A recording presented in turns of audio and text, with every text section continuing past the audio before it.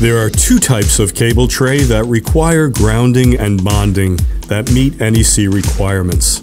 The first and most popular is a typical cable tray. This type of cable tray does not have grounding and bonding built in and comes onto the job site in straight sections. It requires cutting and bending to build out the cable tray on site. When you do this, you will then need to add in grounding and bonding to bring the cable tray installation to code. Another option is to order a prefabricated cable tray. These trays have grounding and bonding built in. A prefabricated cable tray is a tray that is manufactured in the factory that makes the bends, turns, and junctions. It will save you from doing this in the field.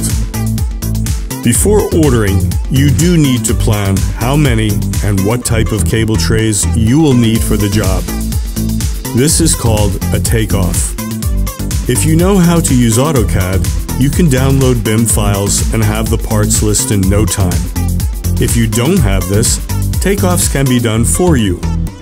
When the prefabricated cable tray arrives at the job site, it is laid out and connected together with grounding and bonding built in. This means that you save time installing and save money on the additional hardware, such as the bonding hardware.